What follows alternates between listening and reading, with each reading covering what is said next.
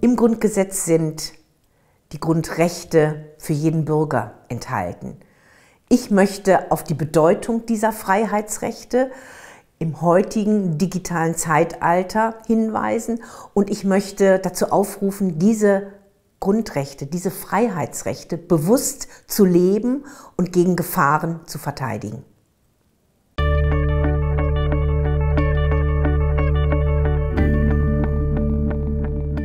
Überbordende Sicherheitsgesetze des Staates bedrohen unsere Freiheitsrechte, wie zum Beispiel eine weitgehende Online-Durchsuchung des Computers, Überwachung unserer Gespräche, unserer Telekommunikation, aber auch moderne Technologien wie die intelligente Gesichtserkennung, die Menschen aus einer Menge herausfiltert und dann speichert und identifiziert.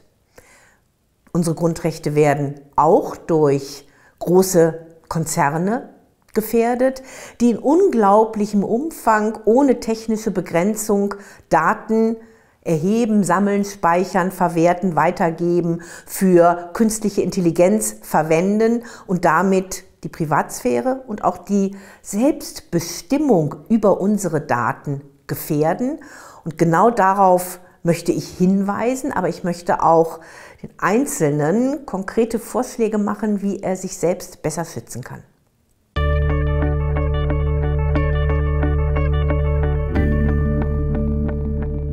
Schwerpunkt meines Buches ist die Privatsphäre, der Persönlichkeitsschutz des Einzelnen, ähm, die Presse- und Meinungsfreiheit, die einfach unverzichtbar zur Demokratie gehört und von Teilen der Zivilgesellschaft konkret angegriffen werden.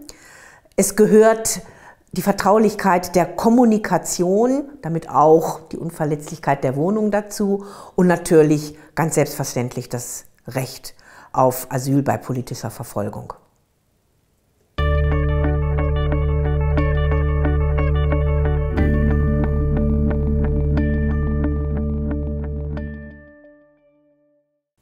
Ich habe einige Male Verfassungsbeschwerde beim Bundesverfassungsgericht eingereicht, weil ich durch Gesetze der jeweiligen Bundesregierung eine Verletzung der Freiheitsrechte in ihrem wesentlichen Kern gesehen habe. Und ich hatte Erfolg. Das richtete sich einmal zur Verteidigung der Unverletzlichkeit der Wohnung. Da musste das Gesetz zum sogenannten großen Lauschangriff dann korrigiert werden. Es handelte sich um die anlasslose Vorratsdatenspeicherung. Da geht es um die Vertraulichkeit der Kommunikation. Das Gesetz war dann auch verfassungswidrig. Und derzeit klage ich wieder gegen eine Neuauflage der anlasslosen Vorratsdatenspeicherung und gegen die Online-Durchsuchung des Computers durch das Bayerische Polizeiaufgabengesetz.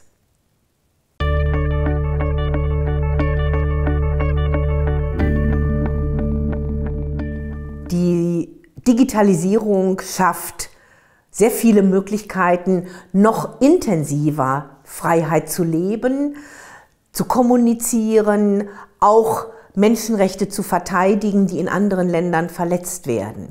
Aber die Kehrseite dieser modernen Technologie ist auch eine Gefahr für unsere Privatsphäre, weil die personenbezogenen Daten in unglaublichem Umfang auch von Dritten genutzt werden können. Und deshalb muss das Datenschutzrecht in moderner Form verteidigt werden. Und deshalb muss auch die Vertraulichkeit der Kommunikation und unser mobiles Endgerät, unser Smartphone verteidigt werden vor unerlaubter Online-Durchsuchung.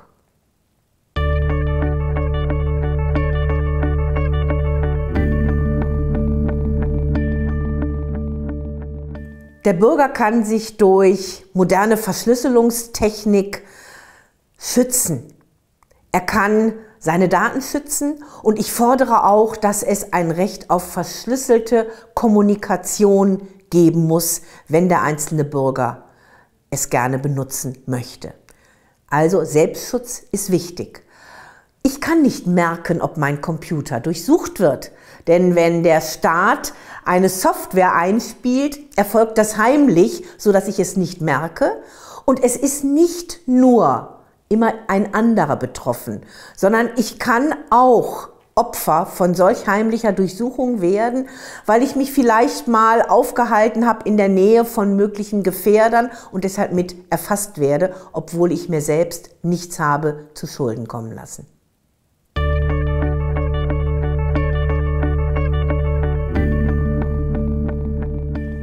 Das Netz ist global und deshalb gibt es ein generelles Recht auf Vergessen nicht. Aber es gibt ein Recht, dass Informationen gelöscht werden, die meine Persönlichkeit verletzen. Und dann kann man das als ein Recht auf Vergessen werden bezeichnen. Es ist durch Rechtsprechung geschaffen worden und es ist zum Beispiel gegenüber Google oder andere große Internetkonzerne auch in Deutschland durchsetzbar.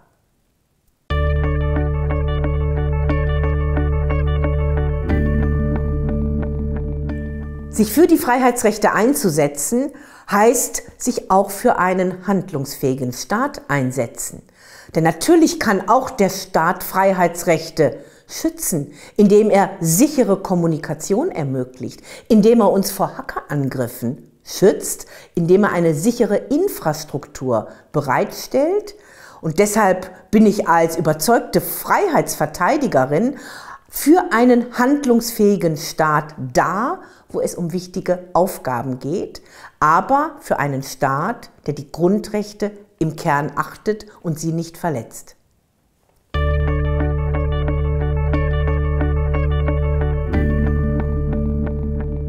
Angst macht unfrei. Wenn wir befürchten, abgehört zu werden, wenn wir Angst haben, dass unsere Kommunikation mitgelesen und mitgehört wird, dann werden wir uns anders verhalten. Dann schränken wir uns ein. Wir gehen vielleicht nicht dorthin, wo wir gehen wollen, weil wir Angst vor terroristischen Übergriffen haben. Angst beschränkt uns in vielfältiger Hinsicht.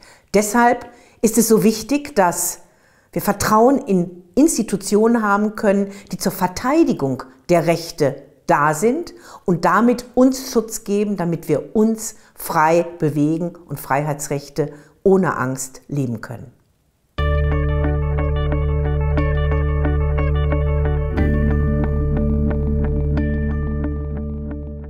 Ich habe viele, viele Wochen intensiv an meinem Laptop und an meinem fest installierten Computer gearbeitet. Selbst geschrieben, selbst recherchiert, ähm, selbst dann auch Korrektur gelesen, selbst die Gliederung gemacht.